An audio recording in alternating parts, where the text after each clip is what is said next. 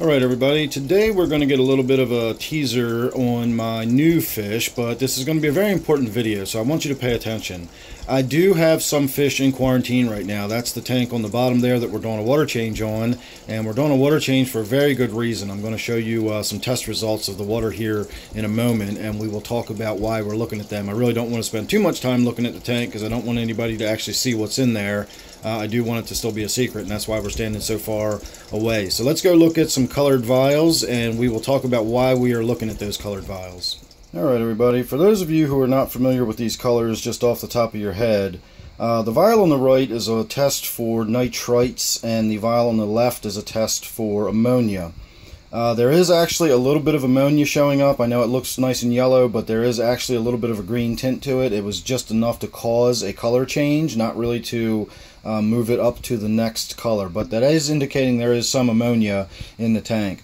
The purple vial, however, is much more significant. That is showing uh, at least one part per million of nitrite and that may not sound like much, but nitrite is deadly to your fish, and I do not like to ever see a full one part per million in any of my tanks, um, let alone one that has new sensitive fish in it.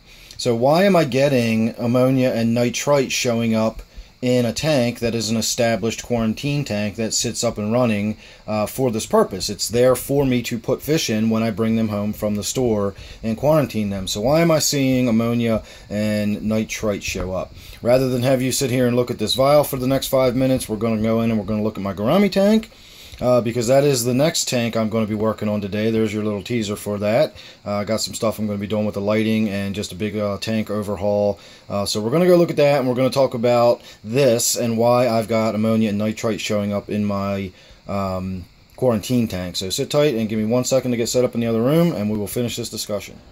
Alright, here we are at my gourami tank, and as you can see, it is in need of some maintenance. Got to get in there, and I got to do some green removal today. Going to get a lot of that uh, stuff out of there.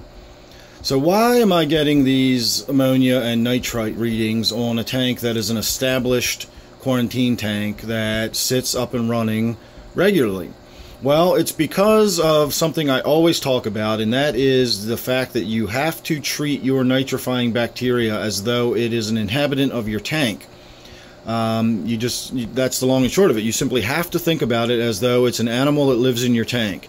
And in doing such, you need to make sure it gets what it needs to live, uh, like food, for example. Now, a quarantine tank that sits up and running all the time is not a tank that's producing ammonia. I'm not putting fish food in there. I don't have any animals living in it that are producing waste. Um, so, regardless of the fact that that was an established tank, the cultures in there were absolutely bare minimum amount of cultures and would have been fine if I was simply quarantining um, a Cory or a couple of skirt tetras or you know half a dozen neons or something like that. I have three significant sized fish in there, and they're producing a fair whack of bioload um, in a small 10 gallon tank. So, despite the fact that it's an established tank, it's not well enough established to handle that heavy of a bioload.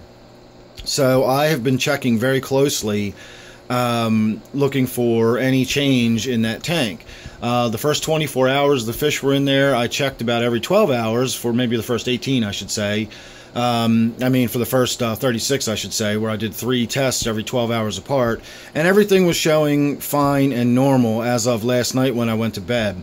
When I got up this morning, I noticed that the water looked a little off. Now, I don't know how to explain that other than years of experience, and I can just look at that water and it looked a little funny to me. I don't, again, I don't really know how to explain what I mean by it looked funny, but it looked funny enough to me that I immediately went and checked the water. Um, and sure enough, I was showing a significant amount of nitrites. So overnight, I went from not having any in that tank to I'm now suddenly producing one part per million of nitrites. And I was able to get in there and do a water change, and I've brought the uh, level down to under a quarter part per million. Um, unfortunately, there's just going to be some nitrite in the tank. I can't just continually do water changes all day, every day.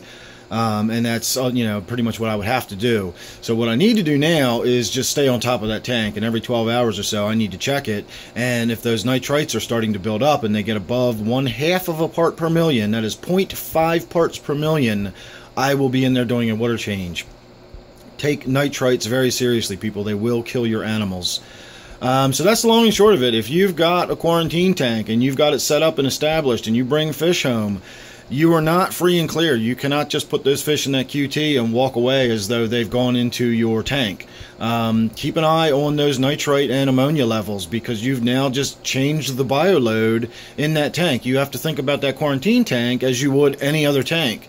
And any other tank that you dramatically change the bioload, and when you go from zero bioload to any bioload, that's a pretty dramatic change. In my case, I went from zero bioload to a fairly significant bioload, probably, you know, uh, a full bioload for a 10 gallon tank, regardless, you know, and I went from nothing to that. So I sort of expected this to happen, and I was looking for it right from the beginning. Um, but somebody else may not be. So I just want that to be understood that when you bring fish home and you put them in your quarantine tank, you have now put new fish into a tank that's changed the bioload and you need to go back to square one. Uh, the stuff you learned on day one in the aquarium hobby of checking your water check your water check your water.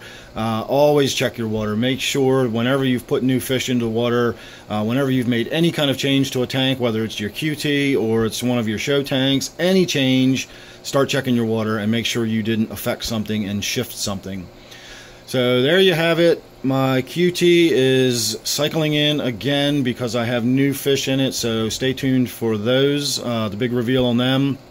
And uh, stay tuned for a video about all of the work I'm getting ready to do on this tank. I'm changing the lighting over today, I'm changing the hoods over, and I'm going to get in there and do a major water change and cleaning and scrub down and plant removal, etc., etc. So big video on that coming up today too.